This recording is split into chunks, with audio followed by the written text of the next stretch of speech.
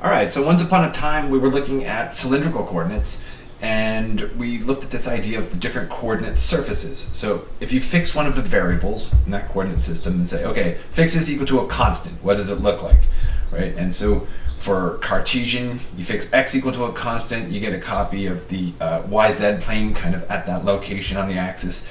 You fix y equal to a constant, you get a copy of this uh, xz plane shifted out that far. And if you fix z equal to something, then you get a copy of the xy plane moved up to that location. So what is it for spherical coordinates? Well, let's see. So uh, for spherical coordinates, we're looking at rho, phi, theta. And again, rho is the distance to the origin. Phi is the angle coming down from the North Pole. And theta is the same thing as it is in, in cylindrical. So in other words, how far you rotated about the z-axis.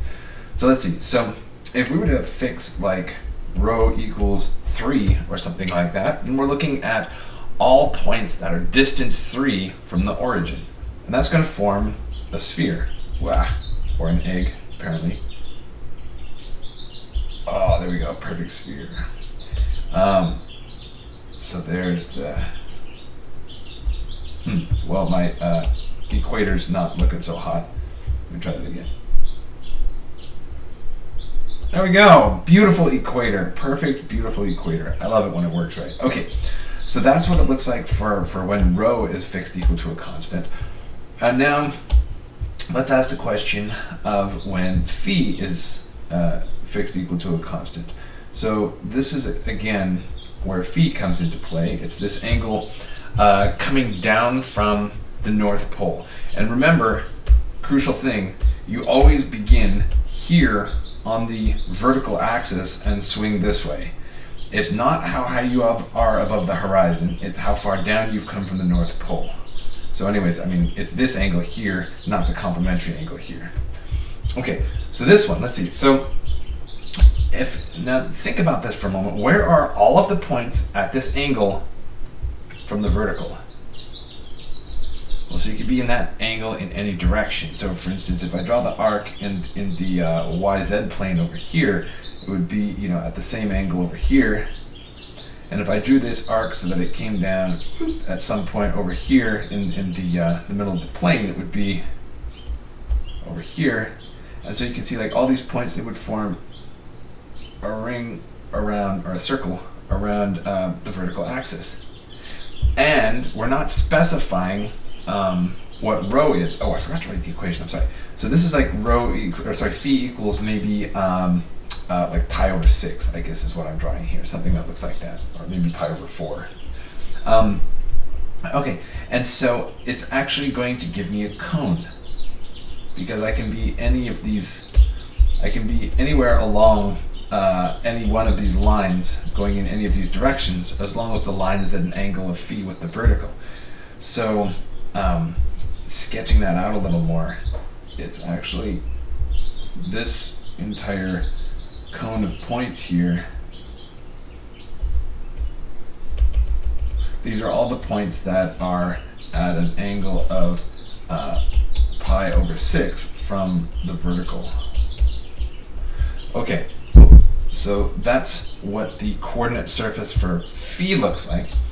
Uh, and then if we go and look at like, okay, so what is a coordinate surface for theta? Then theta, remember, is how far you are rotated around uh, the z-axis starting from the positive x. And so the collection of all points that are rotated this far is going to actually look the same as it did for cylindrical coordinates. It's going to be this, this plane right here.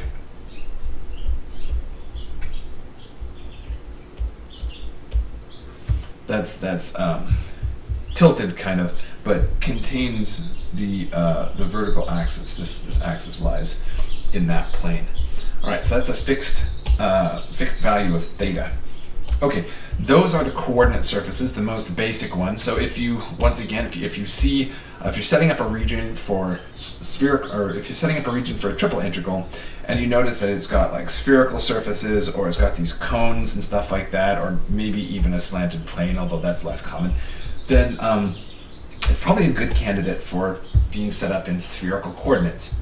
Um, let's just look at one other kind of surface in spherical to sort of understand this. Suppose somebody said, okay, um, rho equals 2a cosine phi. What is that surface in spherical coordinates? So here, this is this is uh, a is some some fixed parameter. We'll require it to be positive so it doesn't get beastly.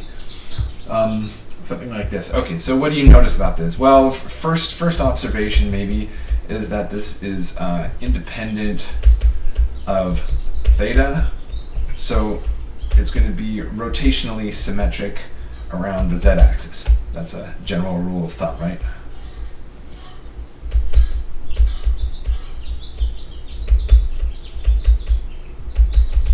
Right, okay, so rotationally symmetric or radially symmetric, whichever you like. Um, and it's not totally clear what to do with this, but what I always like to do is I say, okay, so let's take a look at this formula and say, okay, where can we find places to work in our, our formulas that we know. So we know that rho squared is x squared plus y squared plus z squared. And we know that x is supposed to be rho sine phi uh, cosine theta, and y is supposed to be rho sine phi sine theta, and z is rho cosine phi. And just in case it happens to be helpful, we have this side tidbit that rho uh, r, the radius, is um, rho sine phi.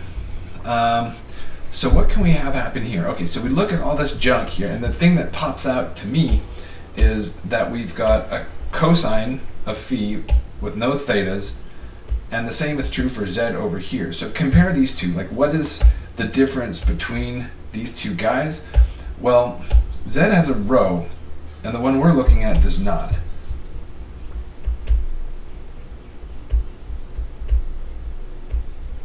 But as is always often with the case with math, if it don't fit, force it.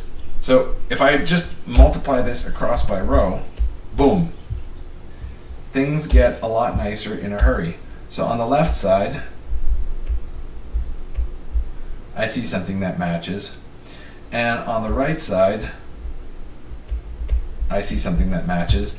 And now I can start making substitutions. So let's see. So um, now on the left, we've got x squared plus y squared plus z squared. And on the right, we have 2 times a times, and then rho cosine phi is z. So I have this one. All right, what can I do now? Well, now I can do the old trick of moving the z term over onto the left and completing the square. So I go to x squared plus y squared plus z squared minus 2az equals 0. But I can also add a squared to both sides to complete the square. And then what does this give me? So now I've got uh, x squared plus y squared plus z minus a quantity squared equals a squared. So now this is going to be a sphere and it's going to have it's going to be a sphere of radius a and the center is going to be at 0, 0, A. All right, so then that tells me, let's sketch this puppy. If I go vertically up to A on the, the z-axis here, uh, then it's going to have radius A, so it's going to be touching um, the origin just like that come to Papa. Okay, there we go. Um, and then, yeah, so it's tangent to the origin.